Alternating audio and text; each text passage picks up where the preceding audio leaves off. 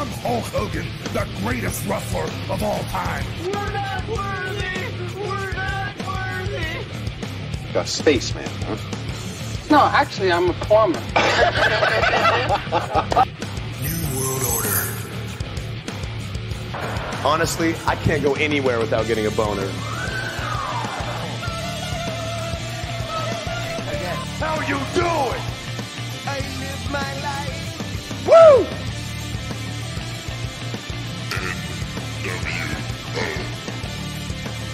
Sweet baby Jesus in the office.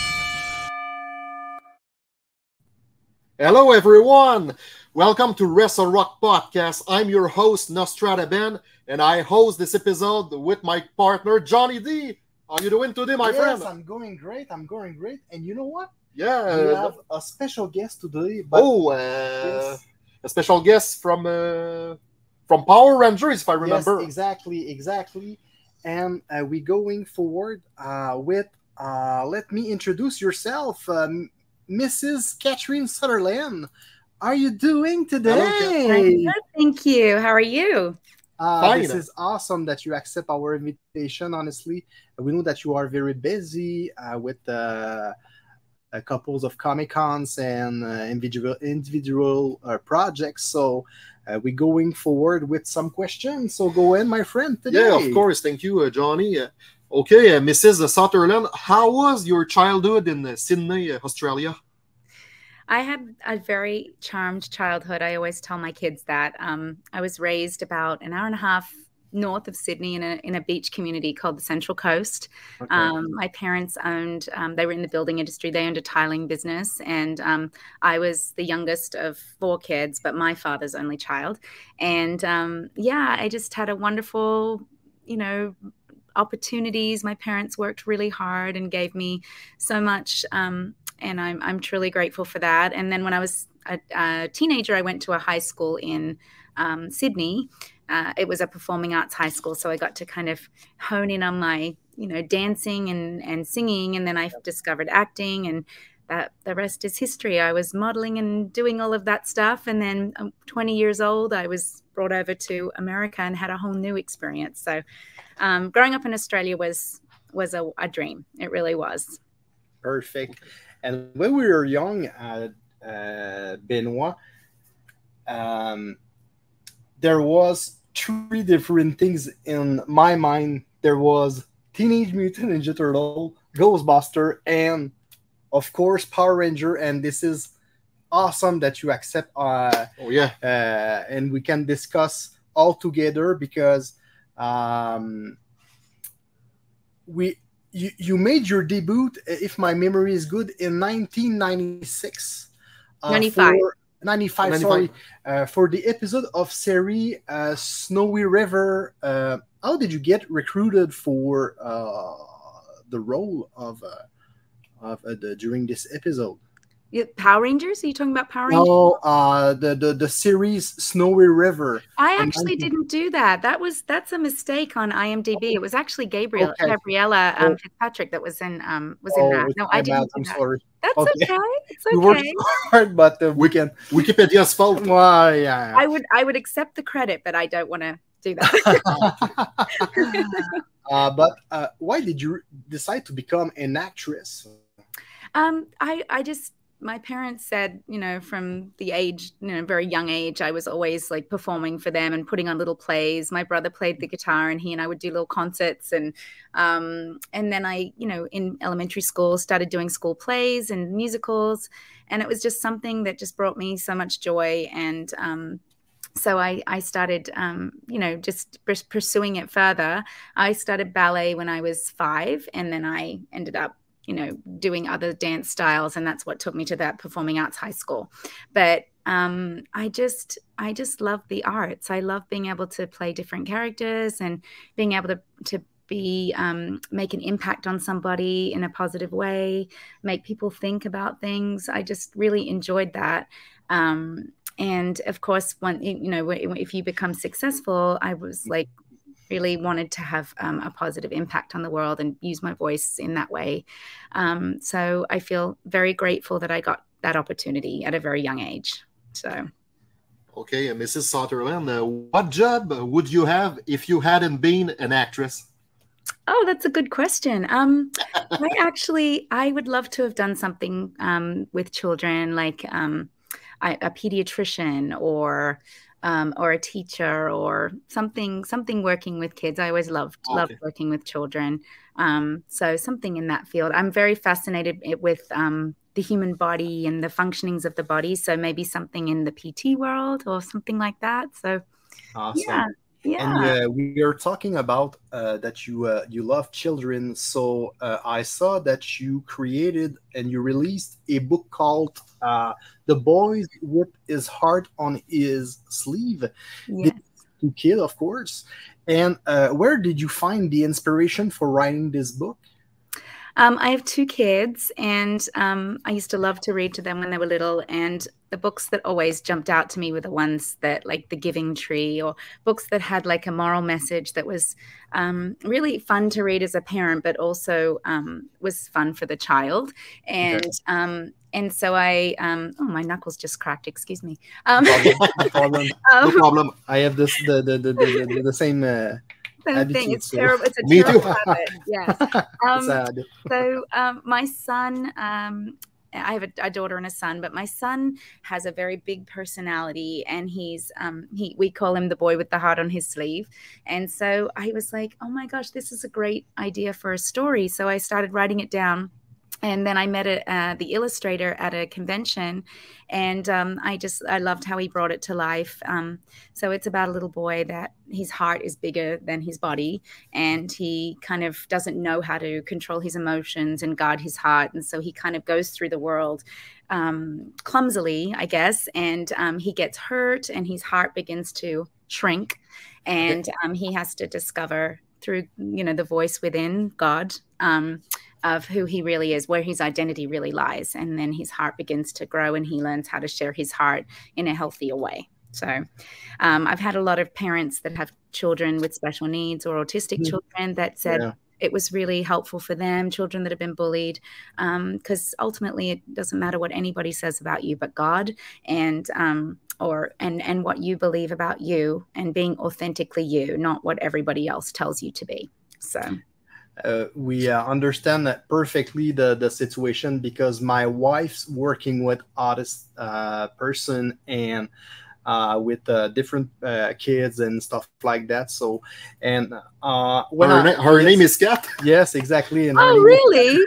yeah, Oh, and um, and also uh, I have two little children. My, my first uh, chil- child called uh, Lorianne. She has uh, seven years old, and uh, she loves Power Rangers. And uh, she was very disappointed because uh, when I when I spoke with him and I said, uh, "I have an interview with the the Pink Power Rangers," Yeah. Sure, she sure. says- uh, she, she says, um, "Oh, do you know if she comes at home?" So, no, know that that's impossible. But uh, she has all your toys Oh. uh, at home, and she loves you so much. And I have a, another uh, uh, brand new uh, baby called Edward. Congratulations! has, uh, thank you so much. Uh, we don't sleep, but it is what it Yes. is, my friend. I know that the Yes. sleep deprivation is real. I don't know if you saw on uh, social media, Nakia has become a grandmother, the Oh. most beautiful grandmother that ever lived. Um, but yeah, she's her her kids are adjusting to okay. oh, the that's hard the, to get used to this new schedule and new behaviors. Yes, but it's And temporary. it's only for a uh, few months. And he has uh, 18 months. So uh, Oh, yeah, awesome. Awesome. Yeah, a lot of liv- a lot of energy and when it's time to sleep, we just drop drop him uh, directly on the bed and he sleep automatically. that's great. Yes, that's great. Perfect Tire him out. For parents, if you know what I mean. So go ahead, my Yeah. friend. Everybody knows uh, that you uh, you played the role of the the Pink Rangers. My my uh, question is, uh, how many uh, prospects uh, audition for the role of Kat Hillard in the Mighty Morphin Power Rangers series? Um, yeah, they uh, when Amy Jo decided she wanted to leave, they I I hear I mean, I don't know all the details, but I, I heard that they were auditioning in America and Canada. Um, and then they had filmed the first movie in Australia. And so um, they loved Australia. And then they thought, oh, maybe it'd be good to have um, someone international, someone that's very different. Um, so they auditioned in Australia, and I didn't know anything about the show. I just knew it was for a children's show that filmed overseas in America, and that was my dream to go to Hollywood. So um, I had to do three auditions. Um, the first one was just a scene. The second one, they wanted to see a little bit of martial arts, and then the third audition was with the producer Shuki Levy. And um, when I went for the third callback, they were, I think it was down to about five of us. They were all blonde. All the girls were blonde. So they were obviously looking for someone that was very different from Amy Jo. And um, I think they wanted to bring in an international flair to the show and have someone that the international fans could maybe connect to, and someone a bit mysterious. And um, so, yeah, it was it was a really exciting moment, and um, I'm very grateful that they chose me. So it was about i think i i got a call like three weeks after the first audition okay. so it was a little bit of a process and then getting my visas and everything it was it was uh, a very exciting time yeah very big process when yes. you don't live in uh, in usa uh, I imagine. So, uh, you're talked uh, about martial art. Uh, do you have martial martial art skills? Because um, a couple of times during series. Uh, you you need a training. You need a training for uh, yes for that the series. Um, I was a dancer actually. Oh, yeah. So Amy Jo was a gymnast. Thuy was, um, I think she had been uh, done a little bit of martial arts. Okay. Karan and I um, and Nakia were all dancers. Mm-hmm. So you just had to have some athletic ability, I think, and be able to pick up choreography because stunt fighting is very different from real martial arts. It, it, they mm-hmm. wanted to look, you know, you wouldn't use that to defend yourself out in the real world. But um, we had amazing stunt doubles, and our um, stunt coordinator and director, um, Koichi mm-hmm. was amazing at kind of seeing what our skills were and tailoring things around that. Um, but when we got to Zeo, we didn't do any um, any stunt fighting out of out of our suit. Um, so all of the all of the martial arts you see was um, was stunt doubles, and then they started to bring it back in Turbo, and it was because you guys were all hitting each other. We were getting in trouble for yeah. causing violence. and I'm uh, I'm wondering uh, when you are in full suit uh, do you have figurant or or you you you uh, you interpret your your own character uh, you mean did we have a stunt double or? Yeah, well, yes. Yeah. Do you have a stunt double? Yes, yes, we okay. all have stunt doubles. Mine okay. was actually a Japanese man. Okay. nice. That they um they would pat him and make him look, you know, feminine and stuff, which is funny. Um, nice. but yeah, we we all had stunt doubles. Um, for any time you see us in the helmets, that is stunt doubles and we would do the voiceover for it.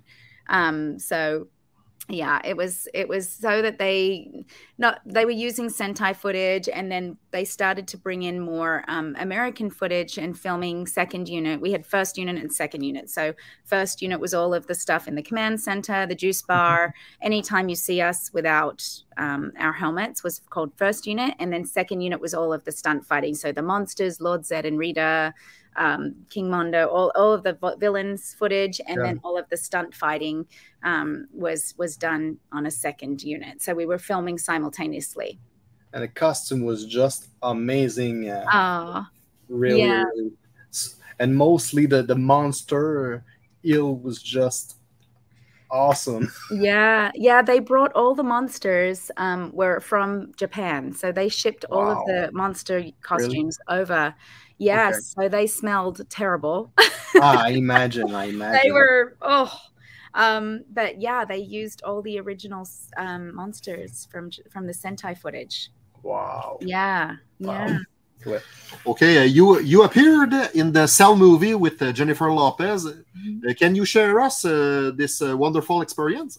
Yeah, that was an amazing experience. That was um, uh, probably when did I film? That was probably that was like a couple of years after I left the show, actually, that I got that. Um, and it was it was a really um, big production, obviously, and big budget and all of that. So it was a whole new experience for me um, coming from Power Rangers, and they treated me so well. Like after my the first day I shot was the scene where um, I'm dead, but they there was like ants crawling on my face. I don't know if you've seen the movie, but it's a really horrifying scene. Like I had to lay there, and that is me. That was not a dummy or anything. I had to lay there with my eyes still and just completely still. Um, they had contacts in my eyes, and I was watching the ants walk over my contact lenses. I was like I had to go into this completely Zen meditation mode because it was so gross. But they sent me um, a beautiful bouquet of flowers and thanked me for being, you know, so such a trooper. Um, so it was a really great experience. The director was like a complete visionary, and that was his first film. He'd done a lot of um, commercials and musical um, musicals, music videos, um, but this was his first like big budget film, and he's got such amazing vision. Like you, it was like everything was such a spectacle on that movie. Um, and I worked a lot. I didn't work with Jennifer, um, but I worked a lot with Vincent D'Onofrio, who is okay. an amazing actor, and he was nice. really wonderful to work with, very respectful. Um, so it was it was a really cool experience. Hard hard to film because it was it was difficult topic. A lot of it was like very traumatic, but it was was really fun. Yeah, also uh, about the Power Rangers. Uh, can you tell us uh, about the late Jason David Frank? Oh yes, um, that was a difficult, a difficult weekend. That was the weekend before Thanksgiving, and Nakia and I were actually um, at a signing in New Jersey. And um, when we when we found out, so it was a really it was a really difficult time. Um, he'd been struggling a long time with with mental health, and obviously, as fans, you know, to his fans, he had one face, and then we all knew what was going on underneath the surface. Um, and it's a reminder to everybody that you know, celebrities they they are people. They have problems just like everybody does, and um, and so I know it was very hard for fans because he was such a hero and such a larger than life person, and um, it was really challenging for them to accept that he'd done that. Um, so it's been it's been a lot of you know trying to he- heal in the community and trying to keep that le- legacy alive. And um, you know he he made a, a, beautiful impact on many people. And mm-hmm. um, we're just trying to keep keep that alive for them. Um, and always if they want to talk about it we're here for them. Um, so it, it was it was a big big shock. So Thank you for this. The, the yeah, thanks. This is super appreciated. Yeah. Uh, well, uh, do you have uh, any uh, upcoming uh, projects? Um, I have. I don't know if you know. I have a YouTube channel with Nakia. Um, Nakia okay. was my my Yellow Ranger on Zeo and Turbo. Cool. Okay. Um, and she, we have a YouTube channel called Power Rangers Playback.